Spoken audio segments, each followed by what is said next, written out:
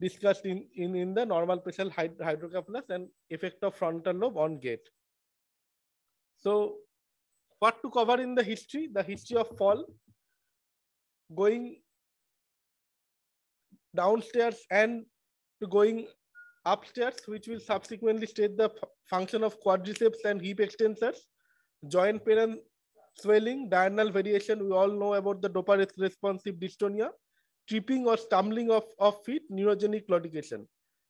So the tripping and stumbling, I repeat, can be due to anything. It can be due to LMN problem, can be due to UMN problem, and can be due to dystonia as such. In the neurological examination, we have to assess the cognitive function, the examination of motor, sensory, and cerebellar system, and the examination of gait.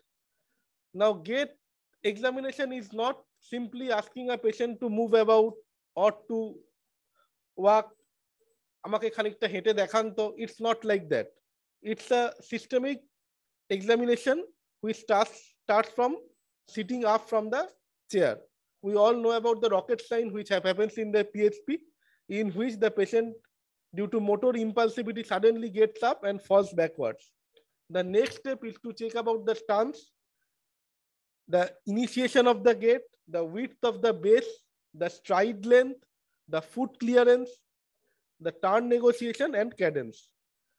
Now there are few delicate tests we, we, which we have to cover like tandem walking test, Fukuda, Romberg test, etc. Now how we define what is cadence? It is the number of steps per unit time which can be fast, can be slow, can be regular, can be regular. We have to measure the step length which is the distance between the successive heel strikes. Vertical clearance of the foot is very important, which is very low in the Parkinson patients and high in the peripheral neuropathy patients. Width of the base is in most gait disorders, it is wide to maintain the balance, except a very few. For example, the spastic gait where there is scissoring of the gait. Now, going back to our patients, what we find in the examination, there is orthostatic hypotension, which, which is a feature of autonomic involvement. The cognitive function is normal. There is gaze, gaze evoked nystagmus and intention tremor suggestive of cerebellar involvement. There is symmetric Parkinsonism, positive pyramidal signs, and hypokinetic gait with positive pull test. Now, to differentiate between the most commonly five higher and middle tier disorders in the high high level, there is the frontal level, there will be hesitant gait, short step length, short height, lower cadence, wide base, magnetic gait. In the spastic gait, I mentioned about circumduction and scissoring. We all know about the shuffling gait of the Parkinsonism, short step length, short step, step height, low cadence, decreased arm swing, festination, freezing, turns in, en bloc. In the cerebellar, everything is variable and the cadence is also irregular. The base is usually wide in the sensory ataxia, the step length is short, but the step height is more to create a slap on the foot to get some proprioceptive and auditory input to maintain the gait. So it is known as thumping gait. And the problem is more in the night of, of course, as we are not getting the visual cue. In the lowest level of gait, there is, is the waddling gait where there is knee hyperextension during stance and lordotic posture.